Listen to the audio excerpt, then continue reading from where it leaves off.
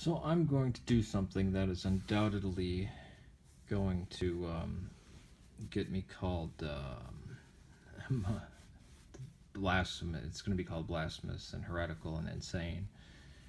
Um, but and I want to show you. This is the Quran that I grew up with. Um,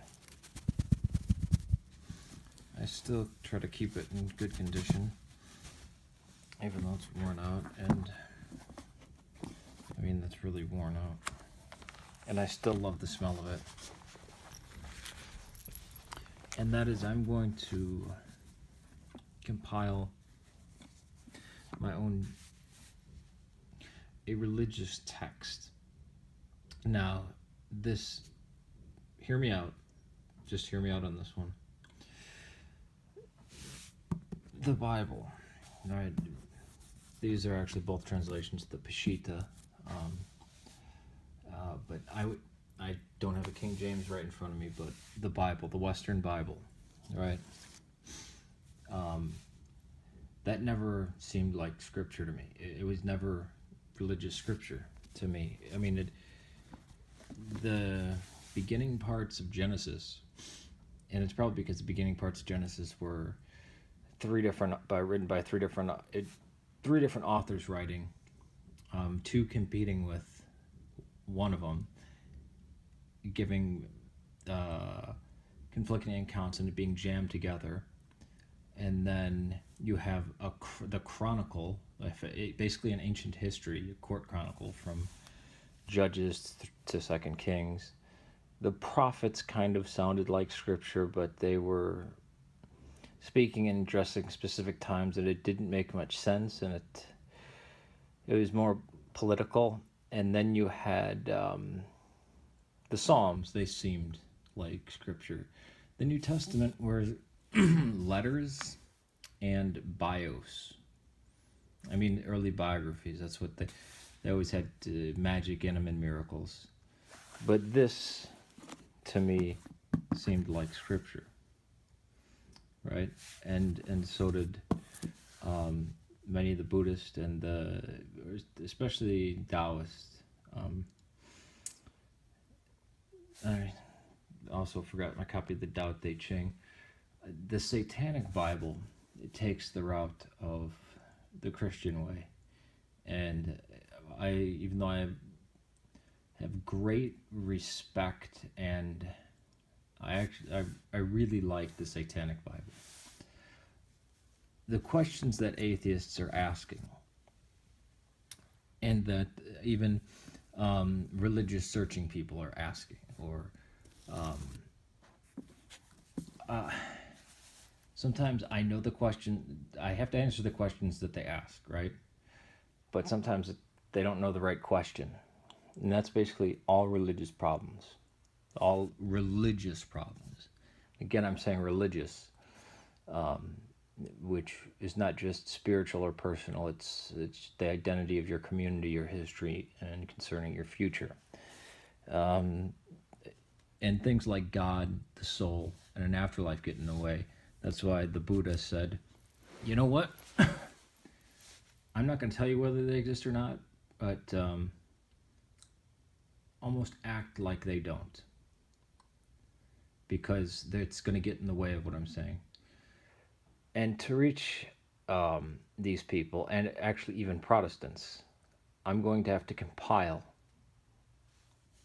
a text that is like Scripture. It's not this historical account that stretches from, you know, Bronze Age Canaan through Iron Age um, Israel to Iron Age Israel and Judea, and then the Babylonian captivity, and then interspersed period of um, when Sparta was fighting Persia, and then another part written when the Romans were around in under Roman occupation. That ends in the first century A.D. I mean, it began with these even stories that are older than probably written language itself that were being retold because they're everywhere.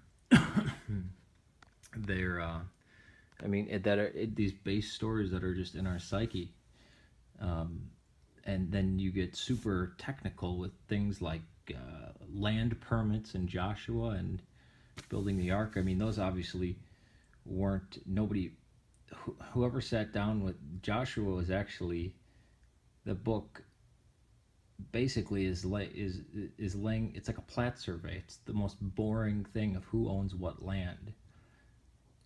Obviously these people who had conquered this land were parsing it out and trying to figure out where and what and uh, because if they didn't they're probably these these confederated tribes because they were tribes it wasn't one tribe would kill each other.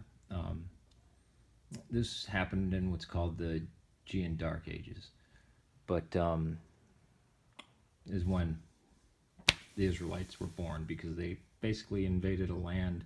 There were nomads that invaded a land and killed the inhabitants. I mean, that's what happened, right? But, um, and I'm holding this the wrong way once again. Hold on. Can we do it? No. But yeah, sorry for it being in picture mode. That's what I'm going to do. Because uh, I need to communicate to people and because there's a yearning and there's a wondering why but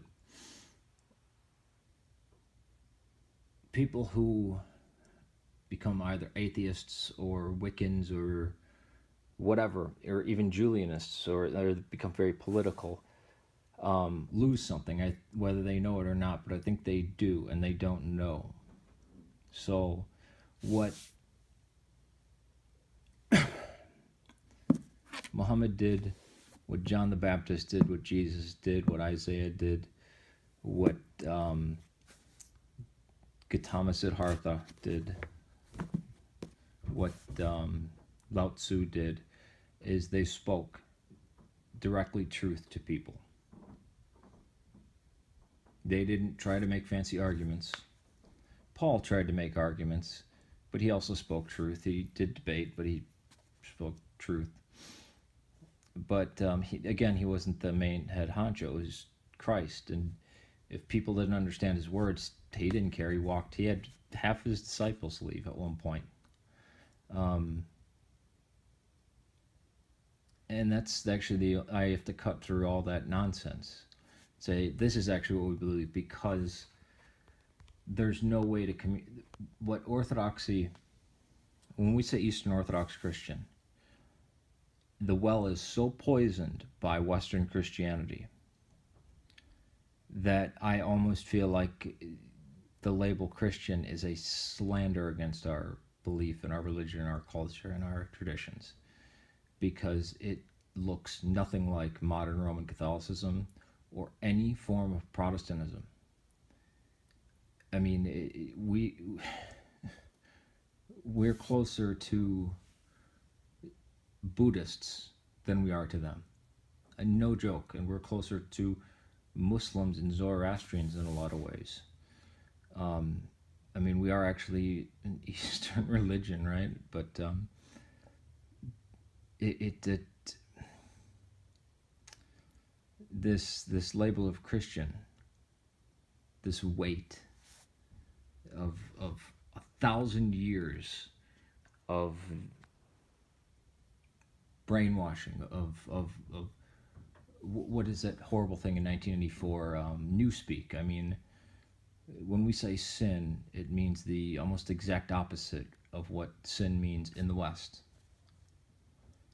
One is breaking a law transgressing a law doing something bad and the other is uh, missing the mark. It's an archery term um, and there's so many things salvation actually means healing faith actually means loyalty I mean, it's there's so many things. The, the Word of God actually is not the Bible. It's actually the Tao, the Logos.